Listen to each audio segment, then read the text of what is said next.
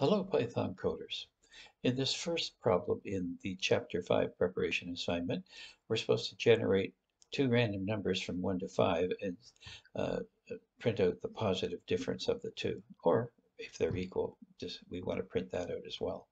So we have to import the random module and we'll give it the alias RA. Our numbers are two random integers. We're going to generate those with the randint function of the random module and uh, they have to be between 1 to 5 inclusive. So that's 1 comma 5, not 1 comma 6 like the range function.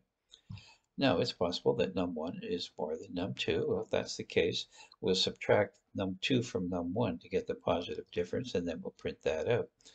It's possible, however, that num2 is more than num1. If that's the case, we'll subtract num1 from num2 to get the positive difference, and then we'll print that out. And then the third possibility is that they're equal, and we'll handle that with the else block. So here's how this could run. There's one output. We'll try it a few more times. And one more time. And I'll have to run it quite a few times, I guess, to get uh, two that were equal. Let's take a look at the second problem here, the second problem in this assignment, preparation assignment.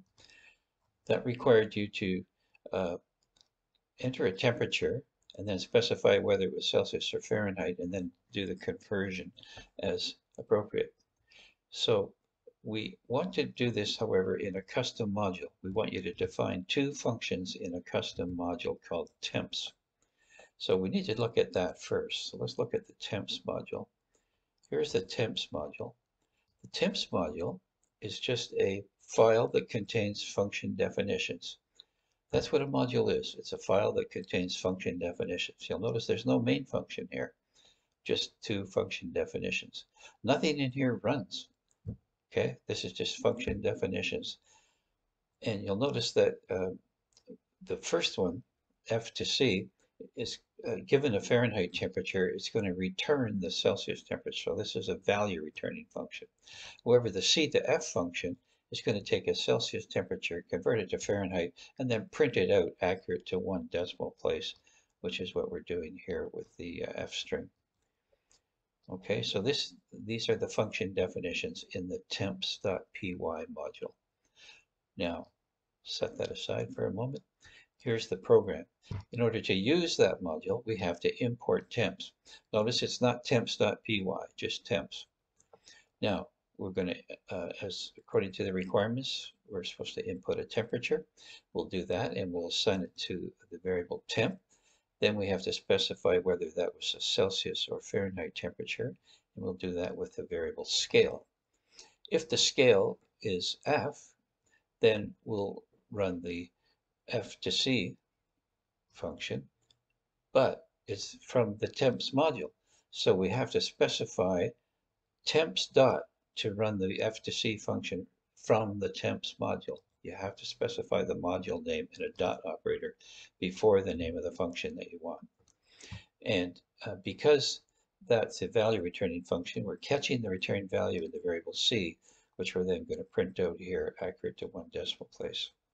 However, if the user enters C, then we're going to be running the C to F function from the temps module. Once again, we do that with temps dot and then the name of the function. But this is a void function, it doesn't return a value. So you run a void function kind of like the way you run the print function. You just you just run it. It doesn't return any value, so we don't have to assign it to anything. By the way, the int function is a value returning function. Notice it returns a value that we catch in a variable temp. Likewise, the input function is a value returning function. It returns a string that we're catching in the variable scale here. Okay, so let's see how this works. We'll give this one a try. Okay, we'll enter a temperature. I'm going to try 32, and I'm going to say that's a Fahrenheit temperature. So we know that what that should work out to in Celsius. Yep, there it is, zero. So that, that looks pretty good for zero Celsius, which of course is correct. Let's try another one. This time we'll enter a Celsius temperature. I'll go with uh, 100. Now, as you may know, that's the boiling point of water in the Celsius scale. So if I enter C here, we do get 212, which is the boiling point of water in Fahrenheit. So this is working properly.